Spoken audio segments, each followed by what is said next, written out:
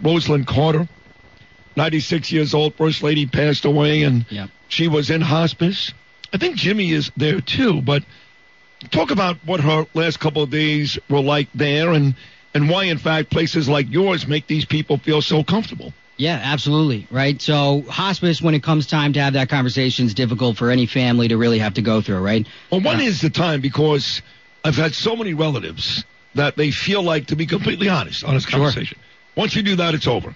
Um, but I think we know it's going to be over, unfortunately, very soon anyway. Right. So when is the real, real right time? Yeah, so the right time really starts when things like curative treatment or any kind of medical intervention is no longer working, right? And that's the biggest piece with this when you have that conversation with the family member. Now, Well, how much time is that, though? Is that days, weeks? Usually hospice can start within six months, but I've had people on our services far longer than that, right? And it comes down to a decision that the families want to make, whether they want to pursue any kind of curative treatment or opt for, I want to be made comfortable and I want to live my last days, weeks and months really in that dignity aspect and spend that time with my family and loved ones as opposed to pursuing any kind of clinical treatment that we would have to get, right?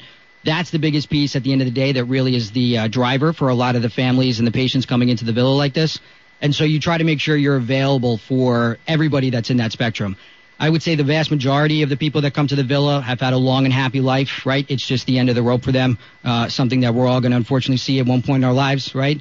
And then from the other times, you have some of the more, what I would consider to be the more devastating cases, right? Unfortunately, someone was just dealt a bad hand. They come in, right, and then they would they've been given a, a terminal disease, and they have to make that hard decision on whether they want to pursue any kind of curative treatment or clinical trials, or opt out of that and come onto hospice and just be made comfortable and spend that last time with their family uh, in an environment that really supports that. Gotcha. Patrick, so tell me this. I know the place, and, and uh, Pete is not the only one who told me the place is actually beautiful. In Saddle River, which is a lovely part of New Jersey, I used to live in Tenafly. I know the place has had a uh, major renovation. Yes. Tell me about that. Yeah, so the renovations really came from the philosophy around hospice being a two-sided coin, right? And so there's not many freestanding facilities that exist like the Villa Marie Claire. We've always done very well on the patient care side of things, right? Making sure that the patients are kept comfortable. But on the other side of that coin, you have the family dynamic that comes into play. And unfortunately, they're the ones left picking up the pieces. And so all the renovations we did, whether it's really enhancing the facility to create an environment that the best way I can describe it, it's how do you take the bells and whistles of a hospital and fit it into a Four Seasons like environment from the hmm. experience perspective, right? And so everyone deserves to have that kind of experience, that rewarding aspect at the end, especially if it's going to be the last place that you're with us on earth, right? Do you ever uh, sit in, uh, I'm not going to say uh, intervention, but I know sometimes for families, death is a very difficult conversation. Absolutely. I just lost my father three years ago. I'm still a mess. A mess. He died in a hospital in upstate New York. Uh, not in a in a hospice uh, center of care, I should say, but he passed away, and it just uh, I'm not even close to being over. Not even close. So you know, guys ever serve, in, uh, have to intervene, talk to families, make them feel comfortable with making that decision, or is that their talk and then they come to you? No, absolutely. So we have liaisons that will go out and help guide you through that conversation so you can make the best decision for you and your family and for the patients and the loved ones, right? Trying to make that decision on whether one you come on whether you want to come onto hospice is very difficult for any family member as much as it is for the patient. And so the liaisons are really there to be a guiding factor through that process to make sure that you're making those right decisions at the right time and explaining the philosophy of hospice, the support that you get, and really trying to be an educator or a resource at the end of the day so families can make that informed decision for what's going to work best for them. Last one, you know, the holidays are coming up. Thursday's Thanksgiving, happens my favorite holiday of the year.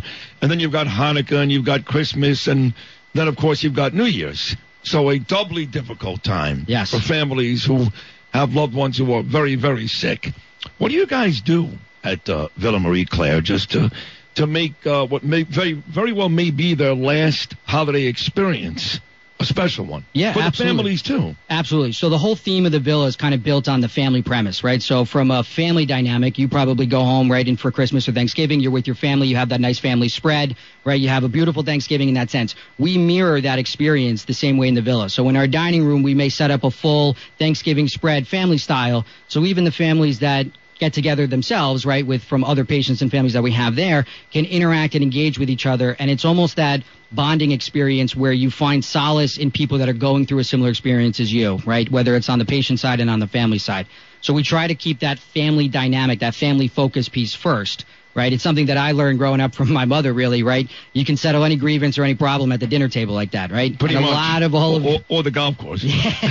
Depends on which one you're going for there, what the grievance is, right? True. But at the end of the day, using things like the family piece and the family meals, right, that come in for those kinds of experiences, and then even the Christmas piece, right? We do have carolers that will come back. They go up and down the hallways and sing Christmas carols for any of the families that are there. Nice. We also do little uh, volunteer drives for donations and things like that. So we try to make the whole experience as rewarding and uplifting as possible, right? We want to focus on the positive side and the quality aspect of today, not just the negative side of hospice. All right, Pat, on the way out, for folks who want to learn more about this wonderful place, once again, Villa Marie Claire, tell them uh, the best way to find out more about it, internet sites, phone numbers, how do they find out? Sure, absolutely. So if you're interested in taking a tour with the Villa Marie Claire and want to learn more, you can visit us at thevillamarieclaire.org. That's our website.